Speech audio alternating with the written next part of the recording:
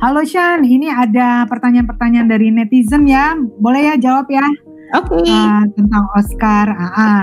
Ini satu dari E uh, at EMFK. Pertanyaan yang mendasar yaitu bagaimana sih mekanisme sebuah film bisa menjadi nominasi di ajang Oscar ini? Uh, untuk kategori uh, dulu namanya foreign language ya, uh, film berbahasa asing.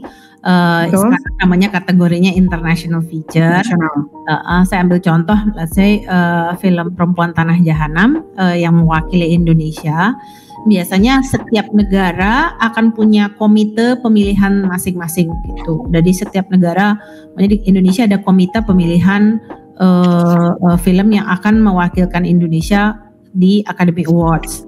Uh, nah mereka yang akan menentukan setelah uh, semacam juri ya nggak lel? Kayak gitu ya, bekerja semacam juri ada pilihan-pilihan filmnya dan kemudian uh, komite ini uh, terdiri dari beberapa ada produser, ada filmmaker dan akan menentukan film mana yang akan mewakilkan. Nah, di tahun ini uh, Perempuan Tanah Jahanam di, terpilih dan kemudian setelah terpilih itu kami harus mendaftarkan sebagai wakil. Itu langkah pertama. Setelah terpilih hmm.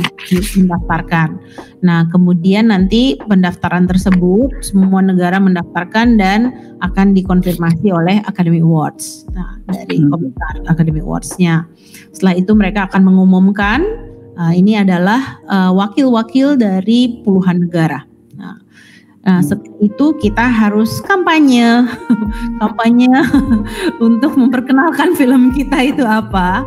Uh, dan kampanye ini uh, ada beberapa kegiatan. Kampanye pertama adalah kita harus berusaha supaya anggota daripada Academy Awards yang jumlahnya adalah tujuh, kalau tidak salah tujuh ribu 7.000 anggota yang terdiri dari produser, sutradara, penulis, uh, semua uh, para pelaku perfilman di uh, di Hollywood maupun di Eropa. Tapi ada orang awamnya juga ya, Shan? Ada ya, orang awamnya betul, juga.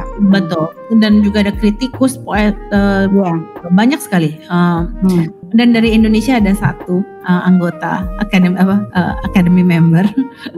ya. uh, nah, uh, dan mereka yang kemudian mau tidak kita harus membuat mereka menonton film kita itu nomor satu bahwa membuat mereka punya interest untuk menonton film kita sehingga itu nanti akan kemudian uh, kalau untuk film international feature itu harus uh, berkompetisi supaya dapat dipilih ke 15 10 atau 15 besar shortlist judulnya akan di, dijadikan dipilih untuk menjadi bagian dari shortlist tersebut gitu. Nah, uh, aktivitasnya tadi adalah membuat mereka menonton, kemudian kita pasang iklan di media-media di Hollywood dan juga me, uh, berpartisipasi di festival-festival uh, ataupun Critics Week yang ada di Amerika Serikat. Uh, sehingga uh, gaungnya tentang film kita akan menjadi besar sehingga kemungkinan untuk terpilih menjadi lebih tinggi.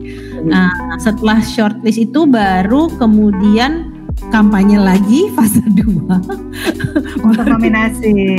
untuk nominasi ya. dan nanti kalau sudah nominasi kampanye lagi fase 3 untuk malam Oscarnya. Jadi ada malam Oscar gitu. Nah, Nah ini mirip-mirip juga untuk yang yang yang uh, reguler ya. Jadi ya. bukan hanya internasional tapi yang reguler ya. pun juga dipilih oleh di vote ya, ya. oleh 7000 anggota betul uh, betul akademi tadi ya. ya. Hmm. Kalau hmm. mereka tuh ada ada ada kriteria khusus jadi pasti ada tahun produksi kap tahun produksinya ada ya. sudah ditentukan ya.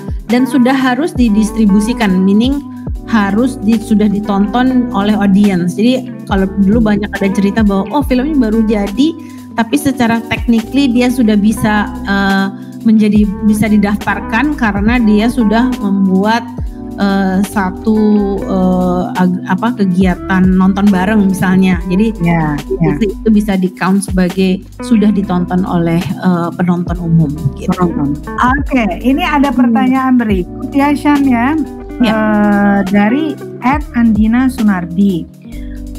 What does resonate with you uh, the most with uh, Minari, the film Minari? Hmm. Nah, uh, usul saya kalau misalnya ini nggak resonate sama Shanti, boleh film lain. Tapi dia bertanyanya Minari dulu nih. Resonate nggak sama Shanti? Uh, mungkin less resonate, tapi mungkin ada satu hmm. satu hal yang mau saya um, apa namanya utarakan adalah kalau karena karena ini mengenai cerita imigran ya. Saya, hmm. saya pernah saya selama 12 tahun terakhir ini tinggal di negara lain. Jadi saya bisa bayangkan sedikit mungkin ya, sedikit ya Lel hmm.